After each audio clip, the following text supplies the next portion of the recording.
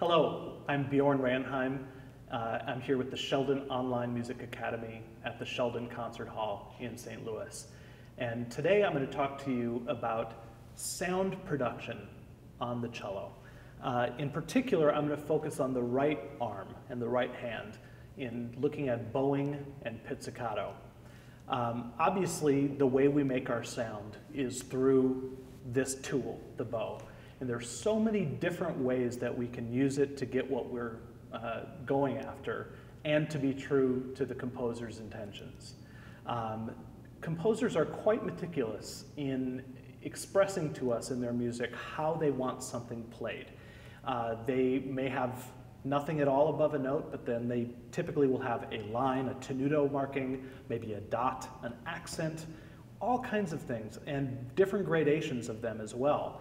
And what this does is it shows us as musicians that yes, we are interpreters of this music, but we also have to be true to the composer's intentions. The only way they have, many of them uh, that are no longer with us, to get in touch with us and tell us what they want is through this music and this notation. So I think in my uh, approach to music, I try to be as focused on uh, breathing life uh, and intention into those markings while also trying to be an artist and express my own uh, interpretation. So it's a, it's a fine line, but the, the two points are not mutually exclusive. I think that we can really do both. So one thing I would like to talk about and just show uh, some, some differences. I'm going to perform just an opening phrase um, of Fauré's Elegy for cello. Now, this work um, starts off, uh, whether you're playing with piano or with orchestra, um, starts off with a few orchestral chords, and then really the cello has the ability to set the tone.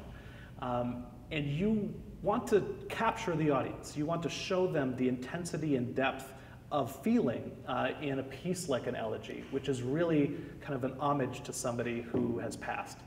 And so what I think about when I start this piece is how can I come out as a soloist and then in the second phrase, how can I back away from that and shed that same musical idea in a different light completely? And so you'll see in my right hand that the first time I play, I'm going to try to be as intense and focused as possible. And then the second phrase, I'm going to really be very light and floaty. And I think this is something that we can find a lot of room to do, especially in French music.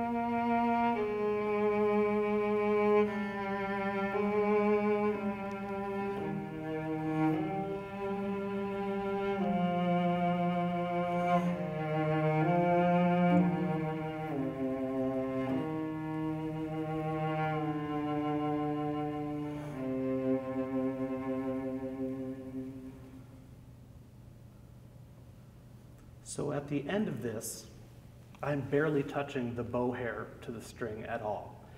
And what you can find is from the very beginning, when I was very intensely into the instrument to where I was at the very end, very out of the instrument, trying to get the most airy sound possible. This is just some small example of how big the gradations are in intensity and also in, um, in focus uh, that your bow can bring. And so uh, whether we're playing music of you know, modern age or music of the Baroque. There's so many gradations between where we can really focus in on the intensity of pressure uh, as we approach these various, uh, these various works. So, thank you.